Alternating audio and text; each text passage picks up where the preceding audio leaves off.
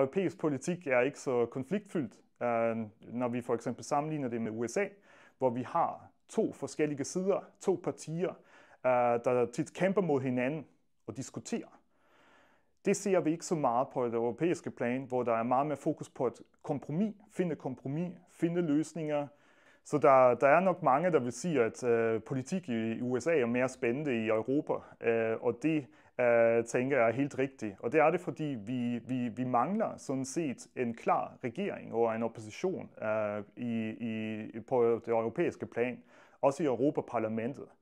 Øh, politik der er ikke særlig konfliktfyldt, den øh, fokuserer meget mere på at finde kompromis på tværs af de forskellige grupper, og det er lidt kedeligt.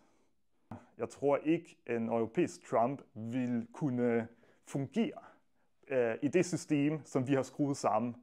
Øh, det er nok så, at der ikke er plads til en person, der bestemmer næsten det hele. Det er nok så kompromissøgende, og der vil også en, en europæisk Trump ikke fungere.